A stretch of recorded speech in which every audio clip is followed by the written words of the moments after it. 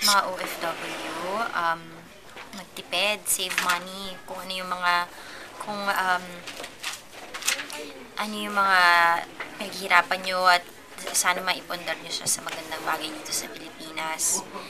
Um, long distance relationship, wala pa akong experience dyan, pero baka magka-experience ako soon. But the way I see it, um, long distance ka ba?